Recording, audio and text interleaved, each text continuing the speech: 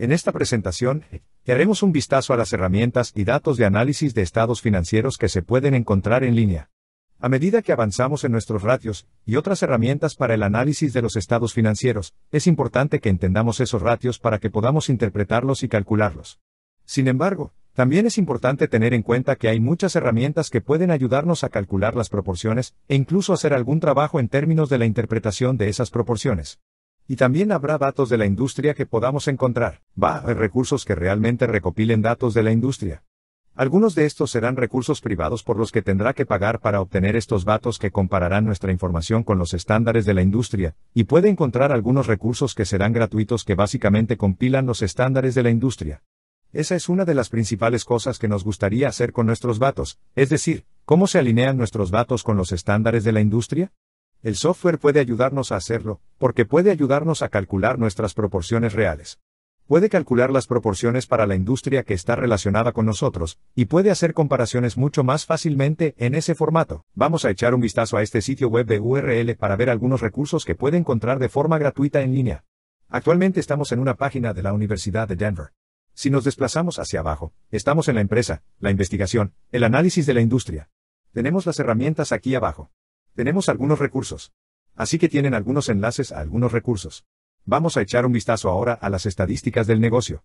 Así que vamos a ir a las estadísticas de negocio a medida que lo hacemos para que pueda ver la URL en la parte superior. www.top.bistats.com, bestats.com. Nos desplazamos hacia abajo. Vemos que tenemos las estadísticas comerciales gratuitas y las proporciones financieras. Bestats es el hogar de estadísticas comerciales precisas y gratuitas.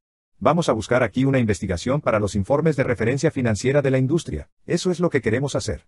Básicamente, queremos comparar lo que tenemos con el tipo de informes de referencia por industria, la industria, en esencia, los estándares. Y la forma de hacerlo es, por supuesto, una recopilación de los datos.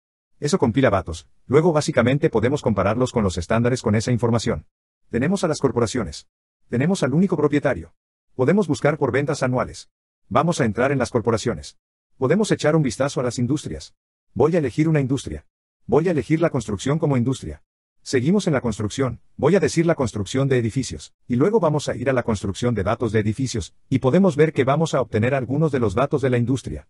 De nuevo, esta va a ser la recopilación de datos. Tenemos información de datos de construcción de edificios de 2013 aquí, para que pueda revisar esta información, y echar un vistazo a cómo se compila. Tenga en cuenta que cuando echamos un vistazo a los estándares de la industria, hay muchas formas diferentes en que podemos compilar los datos, por supuesto. Por lo tanto, las diferentes formas en que compilamos los datos, a quién incluimos en los estándares de la industria y quién está excluido, o qué tan específicas son las empresas que estamos incluyendo R, o qué tan amplias versus cuán restringidas son las categorías que estamos utilizando, todos van a tener grandes efectos en los estándares de la industria. Entonces, cuando piensas en los estándares de la industria, no es algo muy sencillo, porque estamos tomando el promedio de muchas industrias diferentes, y podemos cortar ese promedio de diferentes maneras dependiendo de cómo categoricemos ese promedio. Así que tenga en cuenta que las proporciones en sí mismas, tenemos tipos de proporciones bastante estandarizadas. Cuando calculamos nuestros propios ratios, vamos a tener tipos de cálculos bastante estandarizados que van a ser estándares que se utilizan cuando pensamos en compararlos con otra empresa, una sola empresa. Luego, por supuesto, si podemos obtener sus datos de proporción de empresas, eso va a ser bastante sencillo. Sin embargo, podemos comparar a una sola empresa cuando lo hacemos con una industria. Tenga en cuenta que eso no es tan sencillo, porque estamos haciendo algún tipo de proceso de promediado a través de la industria, y la forma en que promediamos los tipos de empresas que van a estar involucradas va a tener un gran impacto en el promedio que resultará de ello. Así que,